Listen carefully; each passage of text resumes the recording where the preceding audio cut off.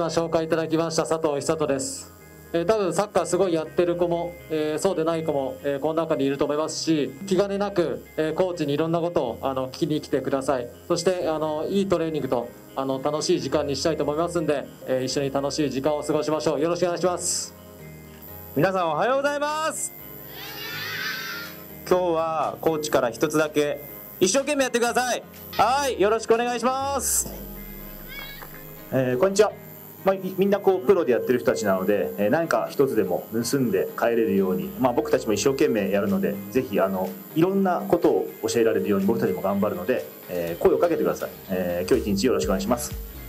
おはようございます。元気にいきましょう。夏が終わりましたがまだまだ暑いです。もっともっともっとみんなで元気に声を出して熱くいきましょう。今日はよろしくお願いします。お話聞くときは聞く。でじゃあこれやってみようってやるときは一生懸命頑張ってやってください。いいですか？はい、行ってみよう。よいスタート。できる人は片手でね片手。ね、えー、これで。おしまいです。難しいこと挑戦してよ。いい諦めないで一生懸命やってみてね。でサッカーさやっぱやってれば楽しいからさ。でどんどん上手になってくるとさもっともっと上手くなってくるからさ、ね、必ず上手になるからねいい？諦めずに、ね、練習頑張ってください。いいですか？はい。練習頑張ってたらさ必ずさそういう頑張る力が自分の中についてさお勉強とかさ、ね、他のことも一生懸命頑張れるからね。OK ありがとうございました。ありがとうございました。はい。じゃあやること言うよ。ちゃん今ちゃんと聞いとけよいいか。用意。緑やばいさあ何緑よ誰一番真ん中にまたさっきのポジション。早い。でほらお友達と当たらないように頑張って。あっち行くぞあっち青。さあ何く誰早い。えー、この中でサッカーチーム入ってる人。サッカー楽しい人。おじゃあこれからサッカー頑張りたい人。はい。あじゃあ君たちはみんなプロになれるか。プロになりたい人。はいあ一番元気いいね。それが一番大事だ。えー、普段の練習から一生懸命やってください。わかりました？コーチにボールをポンって投げてください。シュートおおそうそうそう。いいよ。ナイスおおいいよいいトラップどうするどうする敵いるぞ敵いるぞ敵いるぞおやばいおおナイスボールよく見るボールよく見る。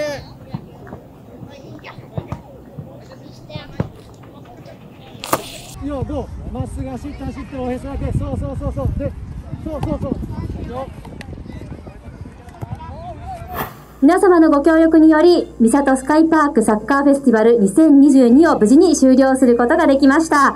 本日の講師の皆様から一言ずつご感想をいただきたいと思います。サッカーたくさんやってる子も、えー、そうでない子も、本当にいろんなトレーニングメニューがある中で、えー、積極的にチャレンジして、えー、暑い中よく頑張ってくれました。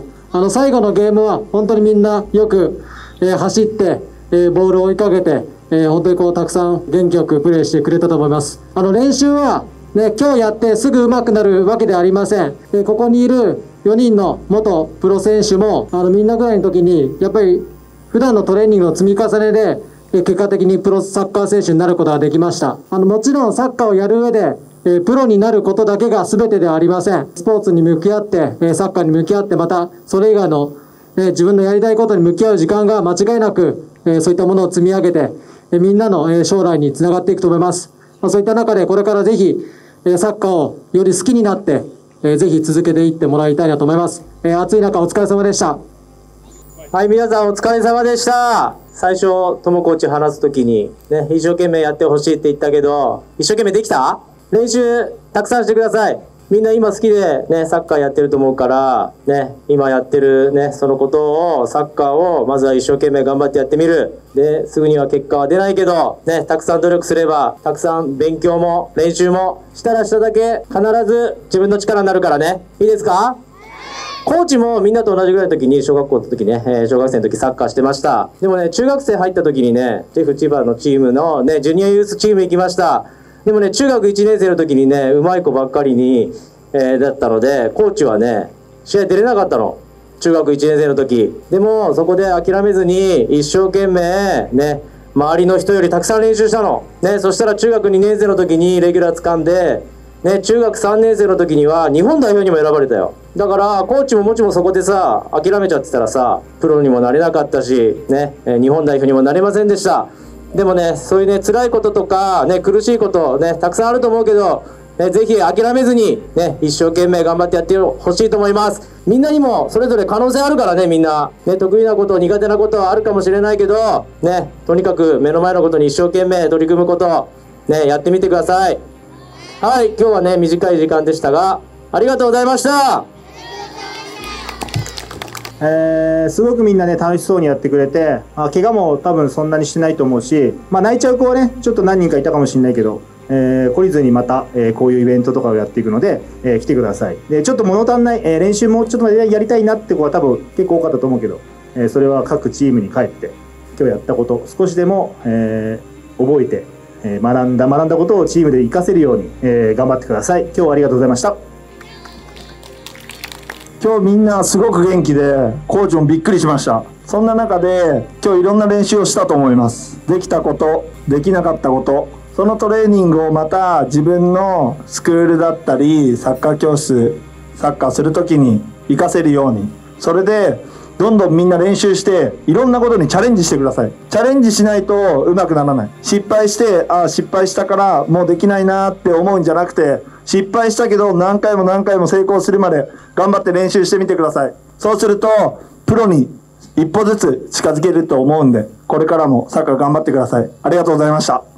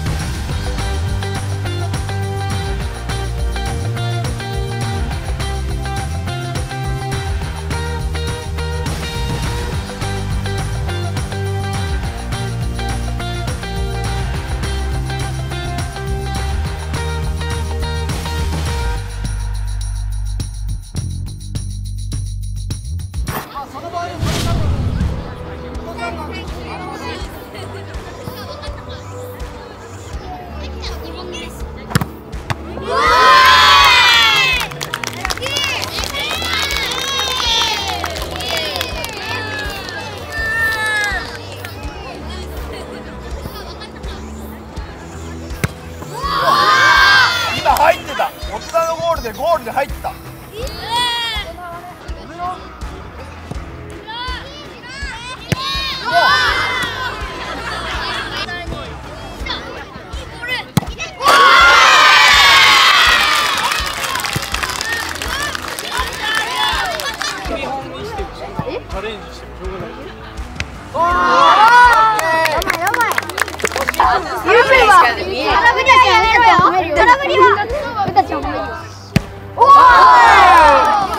惜しい。でもちゃんとミートできました。拍手。ノーバンでいいらしいです。ノーバンで大丈夫です。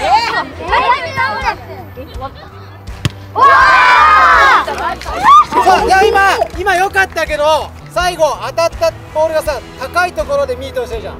だから1個下がる。で自分がちゃんと足を振り抜けるその空間をやっぱり使うね。今だったらもう一歩下がった方がもっと簡単に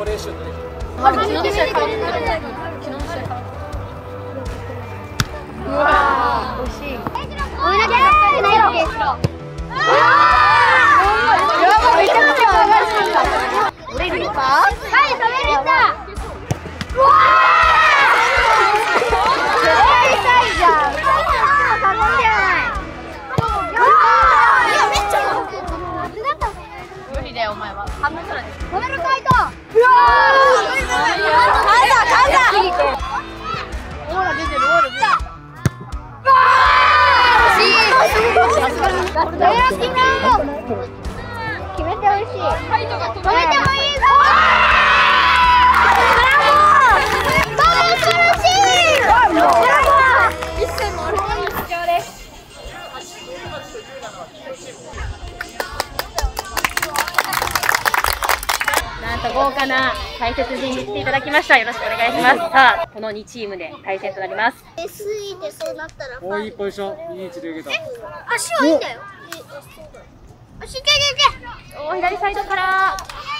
お、取った。これはちょっと手がかかりましたか？いやー少し厳しい判定ではい。おいボールおあーこちょっとヘディング浮いてしまいましたか？はい、なんとか相手陣内ですね。はい、入りました。これチャンスですね。来たか来たかつなぎました。堀口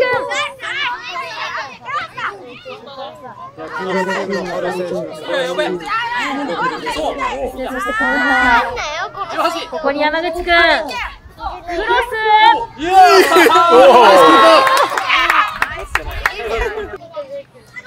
ここで反撃のチャンス。パクダメダメいや本当だよ見たの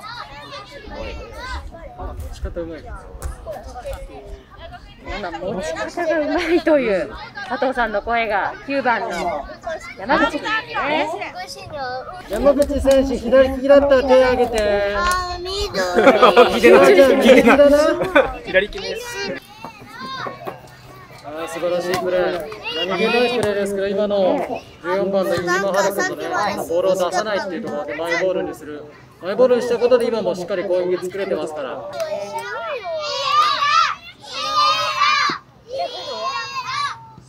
森山君。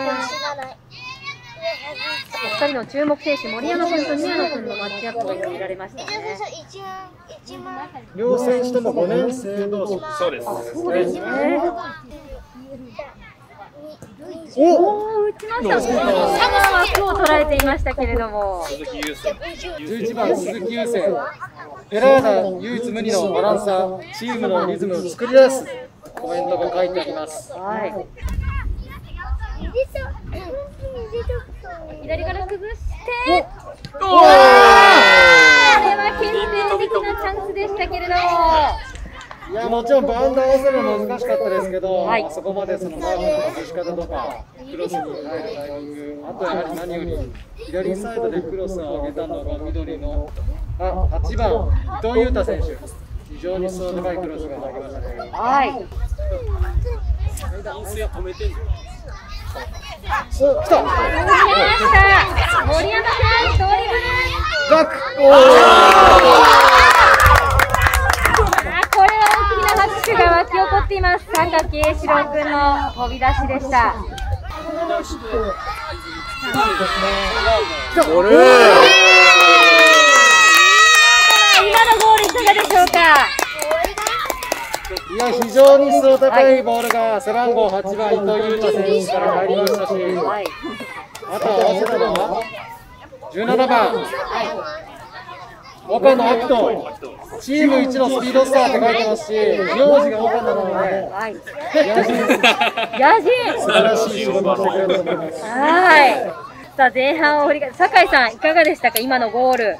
今のゴールも素晴らしいですね。ゴールはでヘディングシュートってやっぱりこうしっかり当てた方がシュートってまあ簡単というかシュート打ちやすいんですけど今みたいにちょっとちょっとだけ当ててすらずっていうのも結構難しい技術なんでええ完璧でしたね。でクロスクロスというかコーナーキックの質もすごい良かったんで、いいと思います。